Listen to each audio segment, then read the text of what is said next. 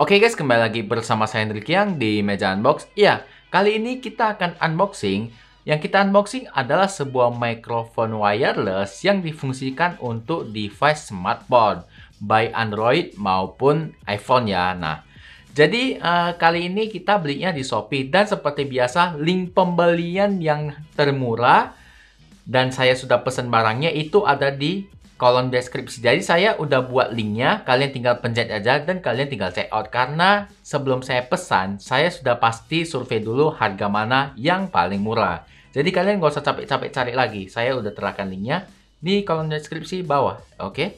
Sekarang kita lihat dulu di Shopee-nya ya. Nah, kalau untuk di Shopee-nya sendiri, dia harganya itu mulai dari 120.000 sampai 300.000. Nah, dia tipenya kayak gini. Dia ada yang single Type C, uh, single iPhone, dual iPhone, dan uh, dual Android. Maksudnya ngerti ya. Jadi dia uh, ada yang dua channel, ada yang satu channel, dan dia tipenya ada dua, ada Type C dan ada iPhone ya. Nah, jadi yang kita pesan kali ini adalah single Type C ya, karena saya menggunakan uh, handphone yang apanya chargernya sudah menggunakan Type C. Nah, jadi ini dengan harga 120.000 mikrofon wireless, dia frekuensi wirelessnya itu udah 2,4 GHz, baterainya itu 65 mAh, dan di sini dia sangat ringan ya. Dan dia kalau untuk jarak efektifnya itu diklaim bisa 10 meter. Nah, uh, kemudian charging time-nya itu satu setengah jam Bagaimana kualitas suaranya? Apakah worth it atau tidak? Langsung aja kita buka.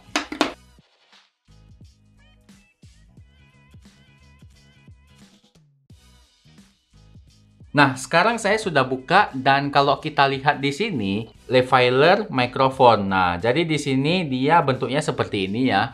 Seperti di Shopee, di sini wireless untuk live show, interview, vlog shoot video ya. Nah, di sini seperti tadi juga dan di sini untuk spek lengkapnya ada ditulis ya. Plug and play 20 meter. Nah, kalau tadi di Shopee-nya sendiri dia diklaim 10 meter, di sini 20 meter ya. Kurang lebih seperti itulah ya. Soundnya clear ya di sini. High sensitive, jadi dia sensitifnya tinggi ya di sini. Dan di sini ada noise reduction ya. Nah, nanti kita buktikan apakah noise reduction-nya ini real atau enggak. Nah, nanti kita coba. Kemudian di bagian sini ada uh, tipenya ya, for iPhone atau for Type C. Nah, kali ini yang for Type C. Kita buka. 1 2 3. Di sini ada petunjuk yang ya cuman HVS lah ya, seadanya kali lah ya. Ya, seadanya sekali nggak apa-apa. Kita singkirkan dulu. Kemudian di sini ada unitnya. Ini kita singkirkan dulu. Dan di sini ada uh, kabelnya ya, tempat kabel. Kita lihat di sini dia kabelnya seperti apa. Dan dia uh, kabel untuk pengecasan ya, kabel untuk pengecasan Type C. Uh, dia panjangnya itu pendek sih, nggak panjang. Dia pendek ya. Nah, seadanya aja. Oke, kita singkirkan. Kita masuk ke mikrofonnya. Nah, di sini mikrofonnya warna hitam. Warna hitam kita keluarkan. Pertama kita ke receivernya dulu ya. Kita ke receivernya, kita kretek dulu.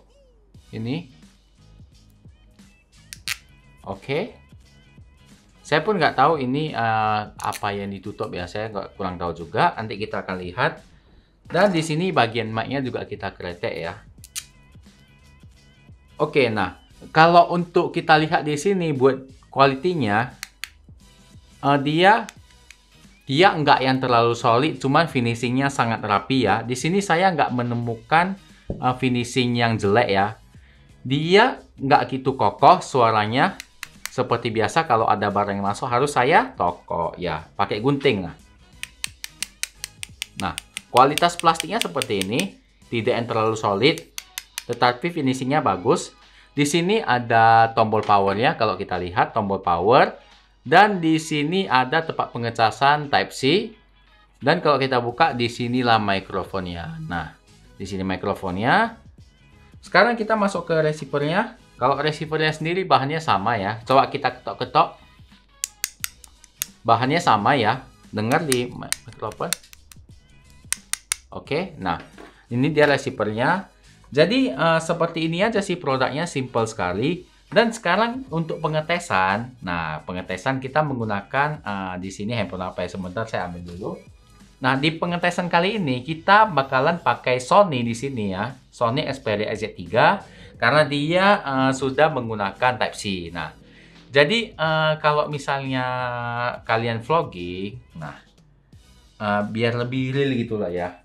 Karena uh, tadi saya juga sudah unboxing ring light ini dengan harga 27.000 saja dan sekarang kita coba uh, buat seolah-olah kita lagi live streaming gitu. Nah, untuk yang ingin melihat ring light dengan harga 27.000 ini, kalian lihat di sini ya nanti saya akan letakkan linknya di atas ini kartunya, kalian klik aja. Karena ini sangat murah dan kualitasnya oke okay sih. Tadi saya tes. Nah, sekarang kita colok dulu uh, ininya. Nah, jadi uh, rupanya baterainya masih ada ya. Kita colok ke sini. Kemudian kita hidupkan uh, clip on-nya di sini ya. Kita pencet lama. Nah. Ah, kalau sudah hidup dia bakalan hijau seperti ini ya. Kalau hijau berarti dia sudah connected. Dan sekarang kita tes untuk uh, recordnya ya. Sebentar saya berarti harus hidupi uh, ring lightnya dulu. Berarti ini saya taruh, saya jepit di sini ya. Di tempat yang aman aja di sini. Oke. Jadi supaya dekat dengan bibir saya dan suaranya menjadi bagus gitu. Jadi suara yang kalian dengar sekarang ini adalah suara dari mikrofon wireless ini. Nah, dengan harga 100 ribuan, kalian bisa menciptakan sebuah konten dengan audio yang kualitas. Dan kalau misalnya di sini ya, saya pakai ring light dengan harga 27.000 dan ini mikrofonnya 120.000. Nah, dengan alat-alat budget seperti ini kalian bisa menciptakan konten yang berkualitas. Nah, bagaimana kualitas suaranya kalian silakan nilai sendiri. Misalnya kalau kalian mau buat konten prank atau apa, nah mungkin ya jangan ngeprank juga sih ya terlalu apa gitu. Nah, mas maksudnya konten-konten wawancara gitu ini juga pen penting nah jadi nanti saya bakalan tes di luar ruangan untuk mengetahui jaraknya gitu tapi jaraknya klaimnya ini bisa 10 meter ya. Nah kalau saya dari dekat suaranya seperti ini kalau saya dari dekat suara segini kalau saya embus nah seperti ini kalau nah ini pasti rusak suaranya dong. Nah mohon maaf kuping kalian agak sedikit terganggu ya. Nah tes tes tes satu dua tiga tes tes tes kalau saya makin menjauh suaranya bakalan seperti ini. Nah oke? Okay? ya. naik angkot ya oke udah situ uh, jadi uh, ini kita tes jarak ya jadi kita mau tahu seberapa jauh mic clip on ini dengan harga 100.000 bisa berapa meter di sini kondisinya sangat ribut karena ada di pinggir jalan. Ini saya sudah ke 15 meter. Saya kalau apa di tengah jalan deh. Ini saya terus saya sambil lihat indikatornya apakah hidup. Kalau dia masih hijau berarti masih hidup. Nah, saya nyebrang jalan. Saya coba nyebrang jalan. Dan masih di sini indikatornya masih hidup. Coba saya nyebrang lagi. Dan masih sampai. Nah, lah ini udah 30 meter. 30 meter coba. Ah nah ini jaraknya 30 meter. Lebih lebih lebih. Ini sudah hampir 40 meter lah. Saya sampai ke ujung. Tes tes tes. Saya sampai ke ujung saya sampai ke ujung ini udah 50 meter. Dan rupanya masih bisa connect. Nah uh, sampai sini udah agak putus-putus ya. Ini sudah 50 meter. Orangnya pun udah terpelongo. Ah di sini udah mulai putus-putus ya.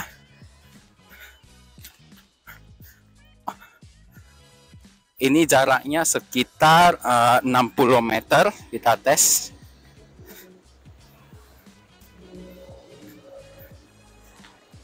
jarak dari lokasi sudah 60 meter.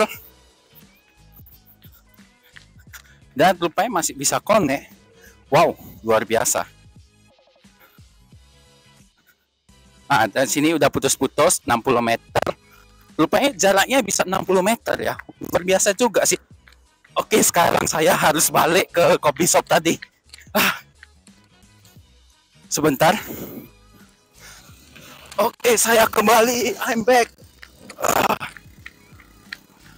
jauh sekali jauh kali jauh kali anjir udah jauh kali aku sampai ke ujung sana anjir masih hidup Jadi setelah Anda melihat video yang tadi yang jaraknya saya bisa sampai 60 meter lebih, nah saya pribadi pun terkejut sih. Kenapa terkejut? Saya nggak nyangka bahwasanya jaraknya itu bisa sejauh itu. Nah, pada awalnya saya kira hanya bisa 10 atau 20 meter karena di surat klaimnya yang ada di boxnya juga dia bisa klaim uh, bisa sampai 20 meter kok di sini kalian lihat. Nah, di sini katanya bisa 20 meter. Kalian nampak? Saya terkejut juga, rupanya bisa sampai 60 meter lebih. Tadi kalau misalnya saya mentok sih bisa 70 sampai 80 meter. Nah, kita anggap dia bisa 70 meter lah ya. Tadi karena saya uh, kurang, udah jauh sekali karena saya di coffee shop itu, saya jalan sampai ujung sampai lampu merah, tetap bisa juga. Nah, saya terkejut juga ya. Kalau dibilang masalah terhalang tembok itu juga terhalang tembok ya karena banyak sekali uh, rumah orang, mobil orang pasti terhalang dong. Nah, tapi kesimpulan saya, saya terkejut sekali bisa sampai 60 meter lebih. Jadi uh, saya rasa uh, tadi ya, kalau kita review ya, sebenarnya tadi saya udah lihat juga video yang tadi ya. Yang pertama, kalau untuk masalah koneksi jarak, ini luar biasa bisa jauh sekali ya jaraknya yang tadi kita lihat. Dan yang kedua, ini masalah kualitas suara. Sekarang ini saya masih menggunakan mic ini sebagai pembanding bagaimana kondisinya di outdoor dan di indoor. Nah, jadi kalau di outdoor tadi seperti itu, ya lumayan lah kalau di outdoor ya. Tapi kalau uh, kita lihat secara keseluruhan, dia suaranya itu agak sedikit mindeng gitu ya. Jadi uh, dia uh, yang terlalu bagus-bagus juga. Uh, bisa dibilang suaranya itu nggak uh, terlalu bagus sih. Cuman yang itu yang perlu kalian catat adalah kualitas suaranya. Tapi tetap aja kalau yang namanya sound itu, sound itu bakalan bagus ketika kondisi mic-nya tepat, lokasi mic-nya tepat, dan cara pemakaiannya tepat. Dan apabila kalian semakin dekat kalian uh, arahkan ke mulut, maka semakin bagus. Itu prinsip dari mikrofon. Nah, kalau misalnya saya pakai dengan cara seperti ini, tentu suaranya sangat bagus ya. Nah, jadi eh, itu juga uh, se sebuah ini uh, edukasi juga buat kalian bahwasanya mic itu kuncinya itu kalau mau suara bagus ya sedekat mungkin dengan si mikrofon itu aja. Nah, jadi kalau untuk kualitas suara biasa aja, tapi kalau untuk jarak ini luar biasa bisa kalian untuk podcast, uh, podcast yang untuk mobile ya kita cerita mobile. Tapi karena kalau kalian pakai yang versi uh, apa kamera DSLR mirrorless kalian jangan pakai ini dan nggak bisa juga sih pakai ini. Kalian pakai yang lebih profesional dan ya kalau untuk konten-konten TikTok nah ini sangat oke okay, sangat oke okay menurut saya. Jadi kalian perlu invest link pembelian ada di kolom deskripsi. Oke okay, mungkin closingnya ini agak sombong dikit ya. Sih kenapa? Karena kita closingnya itu pakai handphone dan juga pakai uh, alat uh, seadanya yang sangat murah yaitu dengan harga 120.000. Nah, gitu. Oke. Okay? Uh, eh, jangan lupa klik like apabila kalian suka dan jangan lupa share ke teman-teman kalian siapa tahu teman-teman kalian juga perlu info seputar channel ini kritik saran komentar silahkan komen di kolom komentar nanti kita akan diskusikan oke saya Hendrik yang sampai jumpa di video unboxing dan review selanjutnya goodbye see you